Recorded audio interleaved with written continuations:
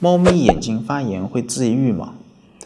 猫猫的眼睛发炎可能跟我们人眼睛发炎可能在治愈上面要有一个最根本的一个感性的认识和区分啊，就是我们人有的时候发现眼睛发炎干涩以后，我们会首先干什么？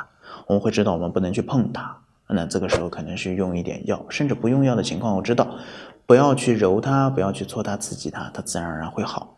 但是猫猫并不懂，猫猫作为动物，它并不懂得那么多的医学知识。它们出现眼睛炎症了之后，往往会造成的是什么？红肿热痛，或者是有刺激感、刺痒感。这时候，而且它们的手爪又非常的灵活，它们可完全通过前面的选址，可以进行眼部的清洁和按摩。那这时候，它往往会按摩它，刺激它。而且在这样的情况下，你可能一到两天以后就发现它已经不是眼睛发炎的问题了，可能就是角膜溃疡或者是角膜缺损这样严重的疾病。所以，猫猫的眼睛发炎能治愈吗？一般情况下是不能的。我们一定要去干预它，去阻止它的二次伤害，以及积极用药。